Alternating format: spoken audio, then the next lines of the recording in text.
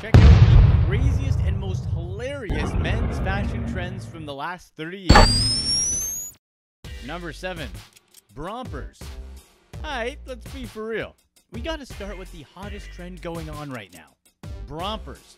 In May 2017, the internet caught that dude, Cam Newton, in what appeared to be a set of Brompers when he was at Coachella. However, it was just a shirt and pair of shorts in the same print. It really roared to life when a small Kickstarter campaign received several times their initial goal of $10,000 after going completely viral. Somehow, some way, it's a clothing item that both trendy Coachella girls and babies both love to wear. And now, apparently, it's a special type of dude, too. Yeah, I can't believe it either. We're talking about rompers. Not your usual flowy ones, but rather a man version of it.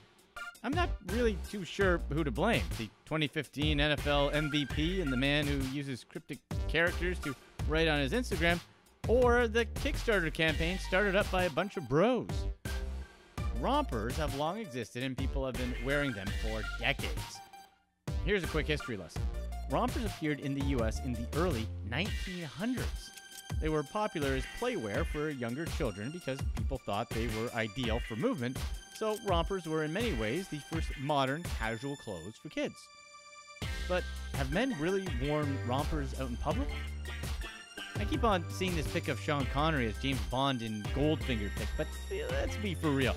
Did real dudes in real life really wear this out in public? So, the Romp Him team came on the scene and decided to get dudes to dive into rompers in order to show off all that gym time and be proud being the dude that didn't skip leg day. Anyways, these are just regular old rompers, but tailored to dudes that hit the gym. They come in a wide variety of patterns and colors. I mean, it's not that bad if I'm going to be for real, but I, I think it's just a gimmicky thing that bros are going to wear this summer, and it just identifies you as a bro.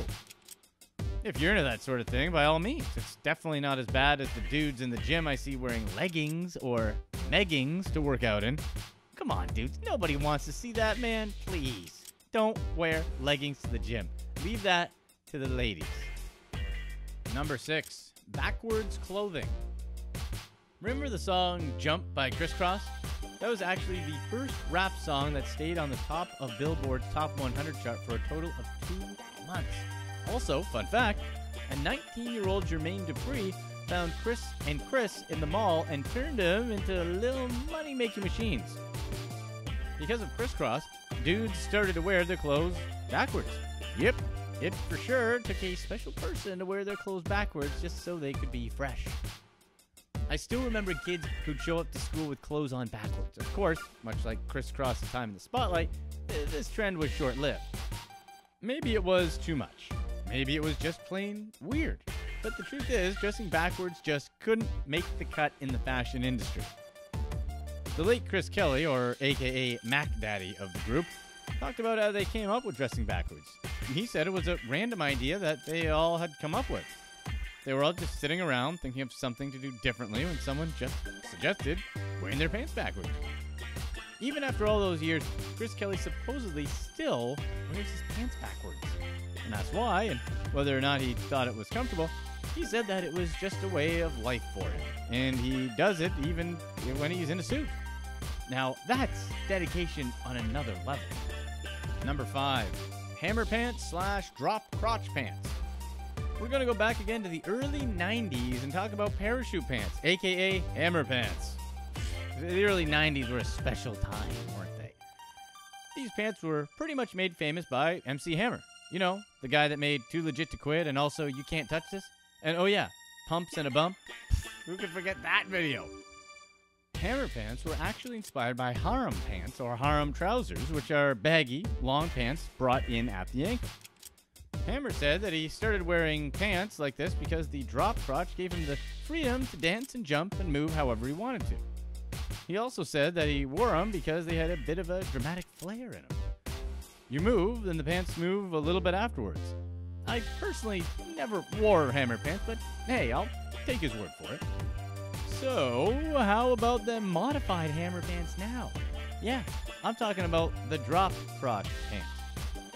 This weird concoction came to answer the prayers of all men wanting to dress and look like Yeezy and Bieber while wanting people to know that it was Yeezy and Biebs that they were trying to look like. These little gems have a super low and large crotch even if it hold all the way up. Hmm, I guess it feels comfortable, but for sure it just looks, I'm just gonna say, interesting.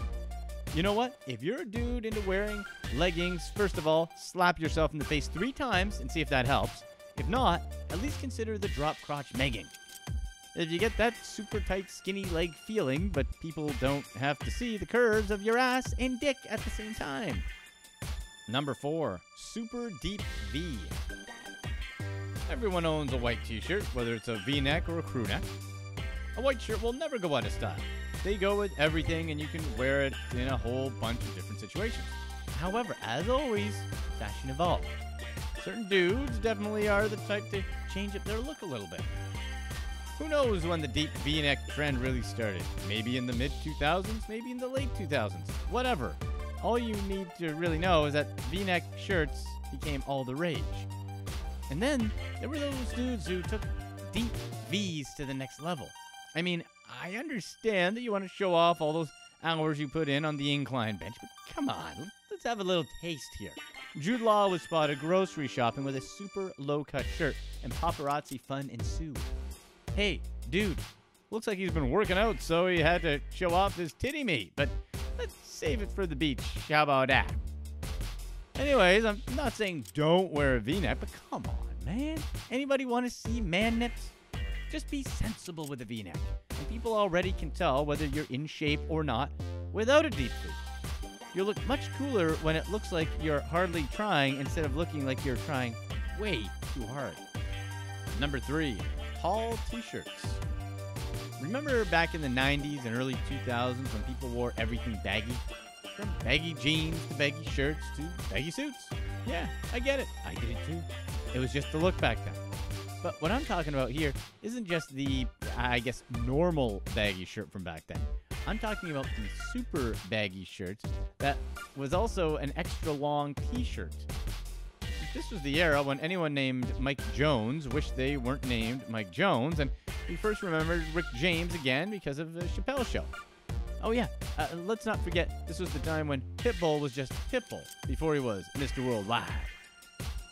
These super long tees that reach to the knees and sometimes even past the knees probably hit a peak in 2004 or 2005. They were usually worn just a few times before they were thrown out and were inspired by the and one basketball players, local hood drug dealers, and of course, many rappers. I mean, so many people were just wearing oversized white tees, it got to the point where shirts were banned at a lot of bars and clubs. These long white tees were pretty much almost every rapper's look at one point or another.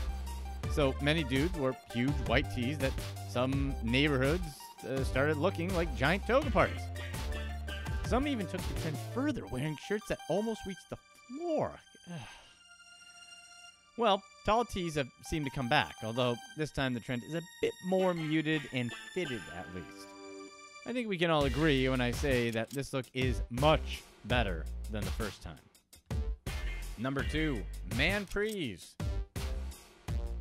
What's up with the thing with renaming everything even remotely targeted to men with some sort of cheesy pun in order to market it?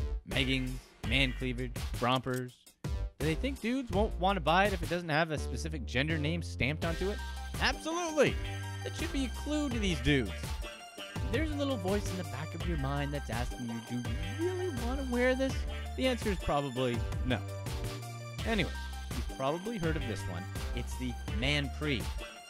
Obviously, as you can tell by the oh so clever name, these are capris, but for men. Initially marketed as long shorts, these became relatively famous in the 90s and early 2000s, which actually weren't as bad as they are as the tight capris on dudes today, I, I guess. These super long shorts were typically made of synthetic fabrics such as polyester or nylon, and usually also had cargo pockets. Remember that there were also the super long jean shorts that were popular for a little while that also looked ridiculous. Come on, who wants to wear shorts that's almost down to your ankles?